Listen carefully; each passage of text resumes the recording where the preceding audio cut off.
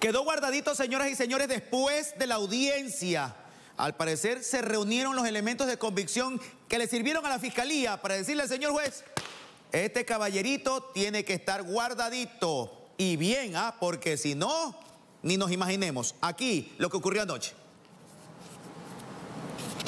La audiencia de formulación de cargos contra Álvaro Bolívar Cagua Andrade, de 24 años, conocido como alias Alvarito, duró menos de 30 minutos en la unidad judicial de la ciudad de La Valdivia, en el sur de Guayaquil, luego de la cual el juez Iván Tircio dictaminó la orden de prisión preventiva, cuya instrucción fiscal durará 90 días. Se dio inicio ya al proceso penal, esto es el inicio de instrucción fiscal por el delito de asesinato. Investigaciones desarrolladas durante más de un mes por agentes de varias unidades especiales de la policía permitieron la captura de alias Alvarito en la provincia de Esmeraldas, desde donde lo trajeron a Guayaquil para someterlo ante las autoridades judiciales. Un ciudadano que, de acuerdo a la información y a los elementos de convicción que aportamos en la audiencia, eh, habría, habría presuntamente participado en el hecho. Digo presuntamente porque todavía nos encontramos en una fase de investigación en la cual también vamos a aportar los elementos eh, necesarios de convicción con la finalidad de establecer así